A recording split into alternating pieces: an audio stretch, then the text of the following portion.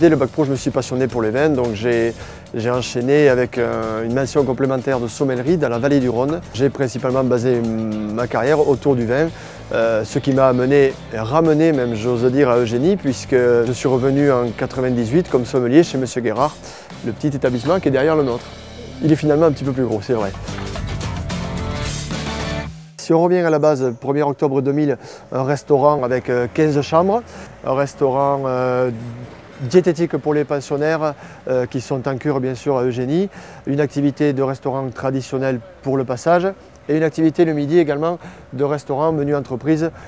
petit à petit on l'a fait évoluer. Dès la deuxième année on a ouvert une boutique de plats emportés cuisinés pour répondre à une demande, c'est-à-dire celle des curistes qui étaient en appartement et qui recherchent de la diététique. Donc aujourd'hui et depuis cet hiver, on a ouvert 13 chambres supplémentaires, donc ce qui passe euh, la capacité à 27.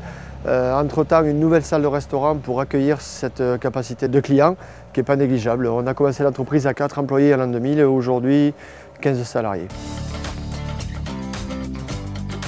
Un dicton qui dit la seule chose dont on est sûr sur son avenir, c'est qu'il n'est jamais comme on l'a prévu.